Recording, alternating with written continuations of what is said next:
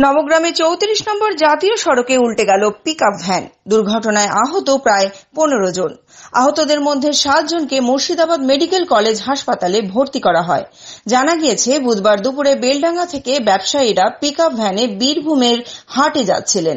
Pickup ভ্যানটি নবগ্রামের পলসন্ডের কাছে নিয়ন্ত্রণ হারিয়ে জাতীয় সড়কের উপরে উল্টে যায়। দুর্ঘটনায় আহত হন প্রায় পনেরো জন। তাদের পলসন্ডা প্রাথমিক স্বাস্থ্য কেন্দ্রে নিয়ে যাওয়া হয়। এর মধ্যে সাতজনকে মুর্শিদাবাদ মেডিকেল কলেজ হাসপাতালে স্থানান্তরিত করা হয়।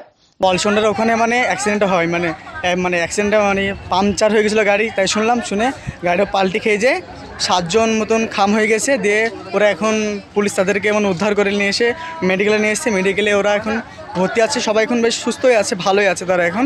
এখন ট্রিটমেন্ট চলছে এখন। গাড়ির চাকা ফেটে যাওয়ায় দুর্ঘটনা বলে দাবি গাড়ি চালকের। আহতরা সকলেই বেলডাঙ্গার বাসিন্দা। আপনার বহরমপুর থেকে হায়াতনগর হাট বীরভূম যেটি পলসুন্ডা টোলগেট পার করে যেতে হয়। পলসুন্ডা টোলগেট যাওয়ার কিছুটা পর পিছন চাকা বাস্ট হয়ে গাড়িটা পাল্টে খেয়ে যায়।